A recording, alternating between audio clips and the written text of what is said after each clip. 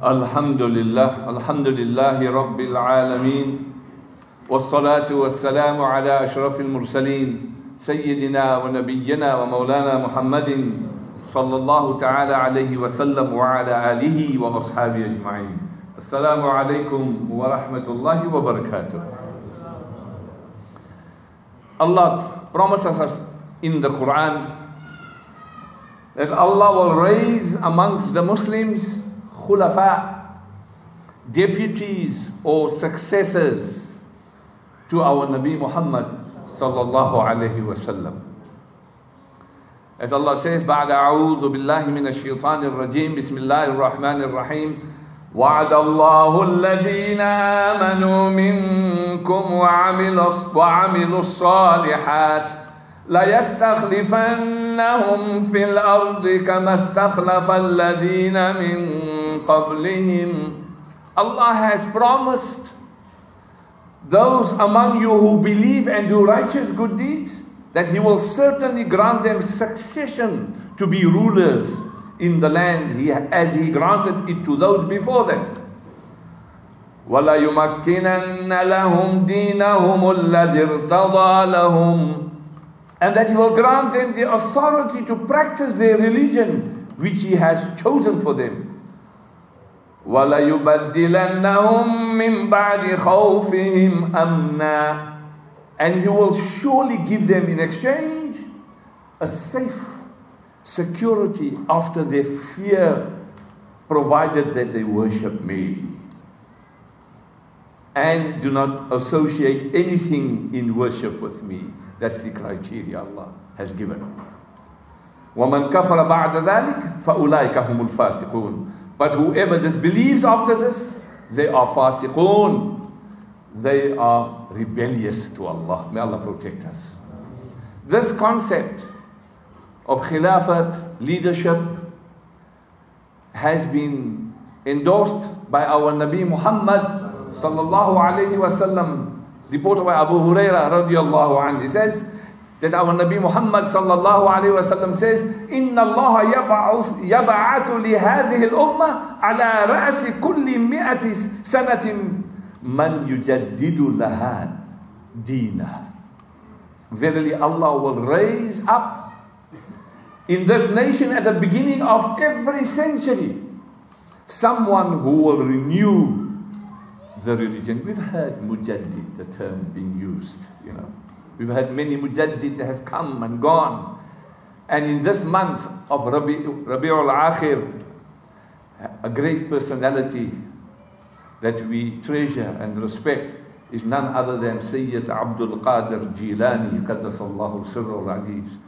Muhyiddin is one of his titles. Ghawthul Azam, one of his titles, subhanallah. Muhyiddin, the reviver of religion. Sometimes we tend to find in certain areas, certain era even, not only in areas, even the era and the time, you will find the dip going. Then you find people like Sayyid Abdul Qadir Jilani, Qadasallahu Sirul Aziz, have come about to revive and energize us, subhanallah. Ghawthul Azam means he was a great helper, he used to assist people, guide people. The ultimate helper, as we know, is Allah Jalla Jalaluhu. But Allah gives certain qualities, certain karamats to great people. So today we are going to discuss a little bit about Sayyid Abdul Qadir Jilani, a direct descendant of Sayyidina Hassan radiallahu an from the father's side. And from the mother's side, Sayyidina Imam Zainul Abidin, Sayyidina Hussein radiallahu an. So he was a Hassani and a Husseini. Subhanallah. That was his lineage to our Nabi Muhammad sallallahu alayhi wasallam. And when he passed away, it was in this month, actually on Tuesday coming, night 11 of Rabi'ul Akhir. 11th, that's why we say Gyarawi. And you know, we keep the dhikr of Sayyid Abdul Qadir Jilani, popularly known as the Urs of Sayyid Abdul Qadir Jilani, the Khatam Ghawthiyah, or as we popularly in the Indo-Pak continent as the Garawin Sharif. And Garawi is what? Garawi means 11th. And in Eastern Africa, whole night zikr, ending off with Fajr Salah. And then they have, they carry on with their lives, subhanAllah, with breakfast. In some places, zikr carries on for days on end. In Cape Town, especially. I grew up with that. Every night in the month of, from the starting was from the 11th of Rabiul uh, Akhir, we, had, we attend functions at different people's houses. We make dhikr. We talk about the qualities of Sayyid al-Qadir Jilani. We talk about the quality of Nabi Muhammad sallallahu alayhi wasallam. And we encourage ourselves and the youth to carry on the legacy which our pious elders left behind to become together. And that is slowly waning away. Why? The first side is bid'ah. You know, that's what they normally say. They, they say normally bid'ah and this and that. But you know, the biggest bid'ah that is affecting us is TV and the social media and the phones. Subhanallah. I'm telling you, people have come and sat in the masjid. MashaAllah, those that are reading the Quran, fantastic. But if you are sitting there to see what message you've got and what is your status on your phone or on your Facebook page, Ya Allah, rather put the phone away. The mere fact that you are sitting here in the masjid is your status has been elevated so much. And if you recite the, the salawat, Allahumma salli ala Sayyidina Muhammad wa ala ali Sayyidina Muhammad wa ashabihi wa barik wa sallim. Subhanallah. Look at that status that you and I am receiving. That's more important. So our children are being distracted. And so am I. Let me come to the point. So I want to take you back to the fifth century in Persia uh, to a place called Naif, if I'm pronouncing it correctly, but in the town of Gilan. There lived a pious, humble man, Hazrat Abu Salih Jangi Dost. Jangi Dost means someone who is very close to Allah Jalla Jalaluhu. And you should spend his time contemplating, thinking, tafakkur, you know. And it so happened he was sitting by the, the banks of a river and an apple came wobbling down or floating down in the river, and being hungry, he snatched it without thinking and he ate it. And then he's conscious. He says, No, I better go upstream and find out where the source of this apple is. And he finds an orchard and he finds it belonged to Hazrat Abdullah Somai. And he says, Look, I took this apple and I ate it without permission it probably it came downstream, but please, I want to repay. I want to pay you for that. And this Hazrat Abdullah, he recognized instinctively what an excellent man this youngster is. Right? Amazing. And well, he was a big man, not a youngster in the form of a teenager. And he says, Look, you have to work for me for a period of time to pay off for this apple well, expensive apple, pay off. And after the period of time has passed, he says, now the only thing that is left is you must marry my daughter. So, oh, and you can look. You know, whichever way you want to think of it. So he said, the only thing is, my daughter is blind, paralytic, deaf, and dumb. Of course, the nikah was performed. You don't need to have the, the bride in the masjid like we find nowadays it gets represented. And when Hazrat went into the room, he sees this beautiful girl with eyes seeing and everything, and he runs away. He says, Look, there's a mistake. He says, No. When I said he was deaf, I meant that she never listened to any haram or gossip. When I said blind, she did not look at haram. When I said she couldn't speak, she didn't speak and gossip about people for haram. When I said paralytic, she didn't go to places that were haram. Subhanallah. This what, and this was the union of the parents of Sayyid Abdul Qadir Jilani. That's where Sayyid Abdul Qadir Jilani came from. Subhanallah. Unbelievable. It so happened after a few years, Sayyid Abdul Qadir Jilani, the father passed away. Sayyid Abdul Qadir Jilani was brought up by Umm al-Khair Fatimah. May Allah bless her for giving us this personality in this world, whom we still venerate and bless and take from him. And he says, as, and many karamas used to take place. As a young boy, one of the karamas was in the month of Ramadan. He never suckled the breast of his mother for milk if it was in Ramadan, only at the time of Maghrib time. This was one of the karamas that was recorded, subhanAllah. And so many others, which we will, inshallah, speak about. It so happened that um, he decided he wanted to go study in Baghdad. And he tells his aged mother, I want to go. And she silently shedding tears because he, she knows now. Once he leaves, I won't see him again. Because there's no plane and train like we are those that you travel for months to seek for ilm. And eventually, he bids farewell from the mother, and the mother says, One condition take this 40 gold coins, which is your share of your father, and she sews it under the arm to keep it safe and sound. And another, never to tell lies. And he was a, he grew up never telling lies. And off he goes. It so happened on his way he joined a kafila, in other words, a caravan of camels and so forth, going towards Baghdad. And a, a band of robbers came to rob them. And he sees this young boy, one of them, he says, Look, have you got money on you? He said, Yes, uh, 40 gold dinars. Of course, they ignore him. They didn't take him serious. And then another one comes, asks the same question. Have you any money on you? He says, Yes, 40 gold dinars. Also ignores. But he goes to the leader and he says, Oh, my leader, we, this boy says he's got 40 gold dinars. He looks like a riffraff and so forth. He says, Bring him to me. He says, Have you got any money on you? He said, Yes, I have 40 gold dinars. He says, Where is it? And he shows the hidden under his arm. It was sewed away. And the leader says, You could have got away with it, you know. He said, My mother told me never to tell a lie. I am on my way to seek knowledge and ilm. I am on my way to seek ilm. So what happened?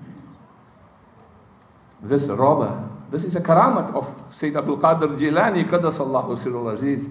He says, You did not want to disobey your mother by telling lies. I have been disobeying Allah by robbing and doing all the wrong things. I said, Wallahi, allow me to take and repent at your hands. And that's what the robber did. He repented at the hands of young Abdul Qadir Jilani. Qaddasallahu sirrul aziz. Qaddasallahu sirrul aziz. May Allah sanctify his secrets. Subhanallah. That's what it means. That's why we always say for, for, for a wali of Allah, Qaddasallahu sirrahul aziz. Subhanallah. And the band of robbers also did exactly the same. They also repented and, and they literally changed their lives around. Subhanallah. When it comes to his academic excellence, I need to go through. He went and enrolled himself at the Madrasa Nizamiya, was a well-known school, university, madrasa at the time, at that time, subhanallah. one of the great institutions. He studied fiqh, he studied tafsir, he studied seerah, he studied hadith, he studied Arabic literature, he studied the Hanbali fiqh. Uh, prominent was the jurist uh, uh, Hazrat Abu Sa'id al-Makhzumi.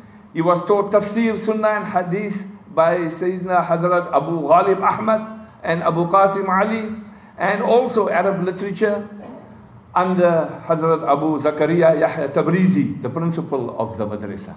So his teaching, the quality of teachers, subhanAllah, they were shining stars among themselves. But you know, to learn under those circumstances compared to today. MashaAllah, now you get bursaries, your accommodation is paid for, your food is paid for, you stay in a, in a room, you get toilet, showers, everything. There was no such thing. Our pious elders, they studied and they studied. Wallahi, not, no such luxuries. And Abdul Qadir Jilani, Qaddasallahu Sirul Aziz, used to say, when the hardships and difficulties would become unbearable, then I would lie on the road and continuously recite فَإِنَّ مَعَ الْعُسْرِ يُسْرًا إِنَّ مَعَ الْعُسْرِ يُسْرًا This is what he used to recite. And then he would address his nafs. Oh, nafs, do not be impatient. And have trust and faith in Allah Jalla Jalaluhu. Look at that. If you want to speak about going through tests and trials and tribulations and have tawakkul to Allah, oh students, you just for a small little thing you want to complain to your mother, your father, your teacher, your ustad, your professor, small little things, nothing in comparison to what our pious forefathers have studied and under those kind of circumstances, subhanallah. So it so happened, a person comes and meets Sayyid Abdul Qadir Jilani and he says, Come eat with me. And he refuses, despite his hunger. He refuses. But the man insists. The man insists. And of course, Sayyid Abdul Qadir Jilani, he partakes of the food. And then, as talk goes, he asks the Sayyid, From what town are you? He I'm from Jilan. He says, Strange, I'm also from Jilan. He says, Why? He says, My name is Abdul Qadir. He says, Ya Allah, an old lady gave me eight dirhams. And he starts crying. To give it to you, Ya Abdul Qadir Jilani. But because I couldn't find you, I started using it upon myself to eat because my provisions ran out. Oh Abdul Qadir Jilani, it is not I that fed you, it is you that fed me. Subhanallah. Eh? Look at the karamat. So Abdul Qadir Jilani takes the money and puts it back into the hand of the messenger. He takes a little bit for himself, hugs him, and lets him go on the way. Subhanallah. This is Sayyid Abdul Qadir Jilani. Subhanallah. When we speak about his spiritual journey, he was under training by the great mystics of the time.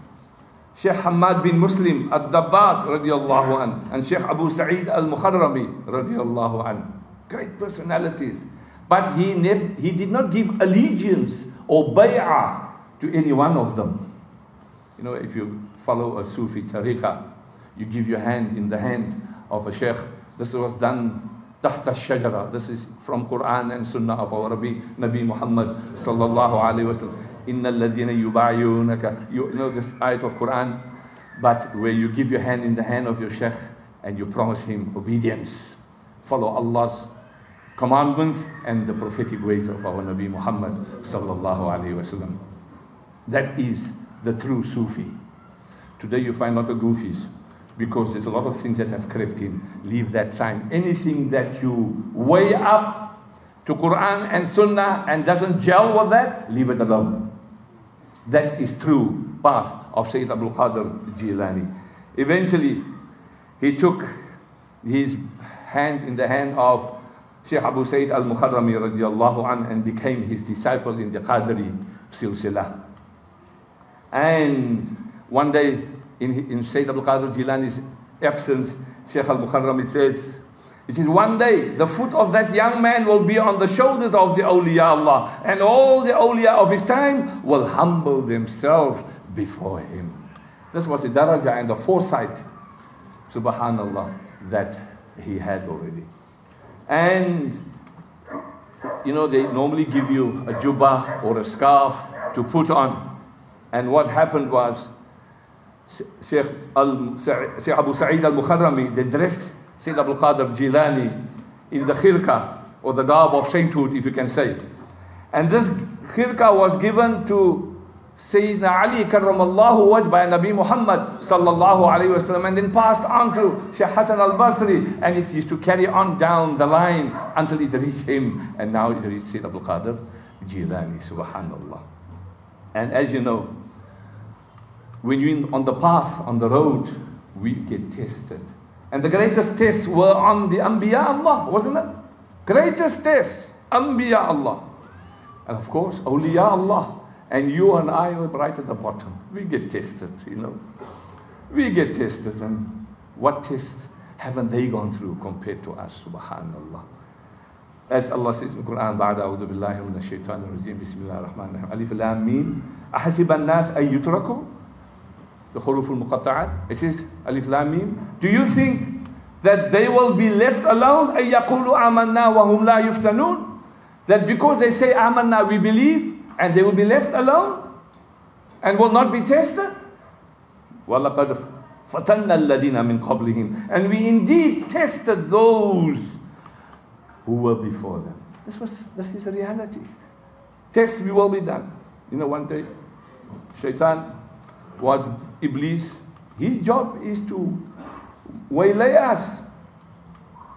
And what he did was, there was no water in the jungle Sayyid Qadir Jilani was going through. So Iblis makes like a cloud appear and it bursts into rain. And the Sheikh quenched his thirst. And then this luminous figure appears in front of Sayyid Abdul Qadir Jilani. And he says, I am your Rabb. I am your Lord. And I now make everything which is haram, I make it halal for you. And immediately Shaykh Abdul Qadir Jilani says, A'udhu billahi minash shaitanir rajim.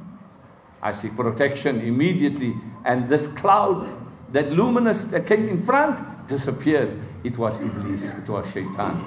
And this is the job. Sometimes in the path of the soul, Imam, you know, I, I saw this thing in the, uh, uh, you know, in my room and I smelled this and I, I, I, I did experience this. He said, go, go see a psychiatrist. Because sometimes we think we are in the ghaib, but we're not in the ghaib at all. You're completely absent, yes. So, but be very careful. People do come. I'm, Imam, I think it's a jinn that's affected me. I said, you first go see if you're bipolar or, or if you're schizophrenic. Wallahi, I do that. You first go make sure. And the one way to, to, to, to get rid of that, we talk about jinn, give adhan. There's nothing fancy. Our Rasul has showed us the way. Give adhan. In your house, give adhan. Those jinns and amal, even the one in the bottle, jinn, look for the. They will go. This is a problem we have. We have we have fallen for the tricks, and some people, wallahi, in our community take advantage of the stupid ones, and they pay thousands of rands. I'm experienced of this, my dear brothers, sisters, and elders. So be careful. فَاسْأَلُوا أَهْلَ الذِّكْرِ إِن كُنْتُمْ لَا تَعْلَمُونَ Go ask the people of dhikr, ask the people who know, who remember Allah, if you are not unaware. Go ask the experts in it. Coming back, as I said, Sheikh Abdul Qadir Jilani caught him out, subhanallah. And we also have to be careful. We I have so much to say. Shaitan, as a passing remark to Sheikh Abdul Qadir Jilani, he says, You know, you only escaped this trap because of the knowledge that you're sitting with. He says, Get away from me, Shaitan, Iblis. It's not because of my knowledge, it's because of Allah's grace and rahmah. Our knowledge means absolutely nothing. It, we will appear, Ameen, inshallah, in front of our Rasul sallallahu alayhi wasallam by the Hawd Kawthar because of the grace of Allah. Not because of what we know. That you must leave behind and keep it behind. Allah protect us. And those foolish people who like to speak against the awliya Allah, be very careful. The hadith, hadith al-Qudsi says, إن الله تعالى قال من عاد لي وليا فقد أذنته بالحرب Allah says that I will declare war against him who treats with hostility a pious worshipper of mine. Be careful. وما تقرب إلي عبدي بشيء أحب إلي مما افترضت عليه. And the most beloved thing with which my slave comes nearer to me is what I have enjoined upon him. وَمَا يَزَالُ عَبْدِي يَتَقَرَّبُ إِلَيَّ بِالنَّوَافِلِ حَتَّى أُحِبَّهُ And my slave keeps coming closer to me through performing nawafil until I love him. فَإِذَا أَحْبَبْتُهُ And when I love him, كُنْتُ سَمْعَهُ الَّذِي يَسْمَعُ لَهُ And I become his hearing with which he hears and his sight with which he sees, وَيَدَهُ الَّتِي يَبْتِشُ بِهَا and his hand with which he strikes, and his leg with which he walks. And if he asks me for something, I will surely give him. And if he seeks my protection, I will protect him. Our Nabi alayhi salam says, إِذَا أَحَبَّ اللَّهُ تَعَالَى عَبْدٍ When Allah loves a servant or a slave, Nada Jibril. He calls out to Jibril. Inna Allah Ta'ala yuhibbu fulanan. Oh Jibreel, I love so and so, so love him. فَأَحْبِبْهُ then Jibril loves him. فَيُحْبِبُهُ Jibril. فَيُنَادِي فِي أَهْلِ السَّمَاءِ And then Jibril announces in the inhabitants, inhabitants of the samawat that Allah loves so and so, so love him, or her for that matter. And the inhabitants of the heavens also love him, and they make people on the earth love him. This is the karama. Remember the karama of Sayyidina Umar radiallahu an? He stood, we're talking about Allah becomes your hearing and your, in your speech. He stood on the, on the mimbar and he says, Ya Sari, Ya Sari, Al Jabal. His army was miles away. And he was giving a warning sign to Jabal take the mountain as coverage, as your real God. And when they came back after many months, Saria has said, Oh, yeah, Amir al Mu'mineen, if it wasn't for your warning that we heard, subhanAllah, we would have been overwhelmed. This is karamat, my dear brothers and sisters. And you and I have the capability with Allah's permission, with the barakah of Nabi Muhammad sallallahu alayhi wasallam to achieve that. But it costs hard work. Mutu qabla an tamutu. What does that mean? Die before you die. What, what, what is that? We kill your nafs. Your nafsul ammara bisu, that animalistic ones. Hey, you are the man. You know, you the imam in this mosque. You the Bilal, you the mufti, you this, you that, you. Uh, throw that away. Start saying you nothing. Say you nothing because we are nothing. Only Allah makes us something. And that is the, the way we have to be. Our time is up. So many kitabs have been written. I've read some of Shaykh al-Qadir Jilani's priceless books. Subhanallah. Futuh al-Ghaib, Revelation of the Unseen. Al-Fath al-Rabbani. Al, you know, the removal of case, Malfuzat, the utterances, Ghunya li-Talib al-Tariq al-Haq. There's so many kitabs. Sirr al-Asrar. Some of the books which I've really volumes and volumes that you can learn. Go through it and see. May Allah in His infinite mercy assist us that we can learn. You see, sometimes we think our Prophet is so far away, then we need somebody close by. And our close by is who? Is our Ustad, our teacher, our Sheikh, our Murshid. And then through him, we get inspired and we get taught.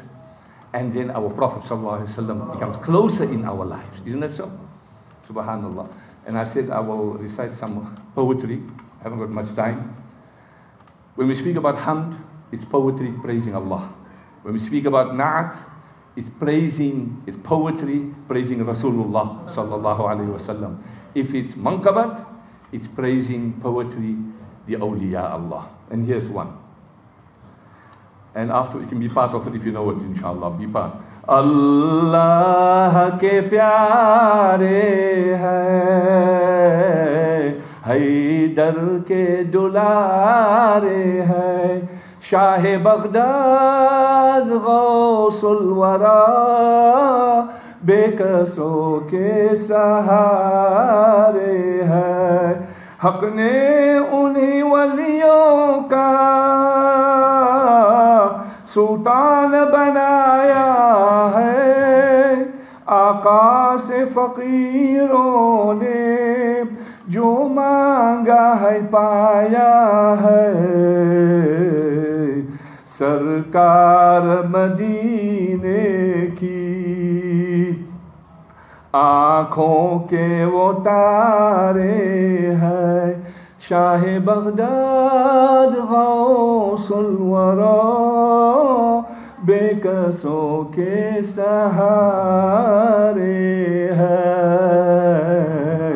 لا الہ الا إله إلا الله. لا إله إلا الله. نبي محمد رسول الله. لا إله إلا الله. لا إله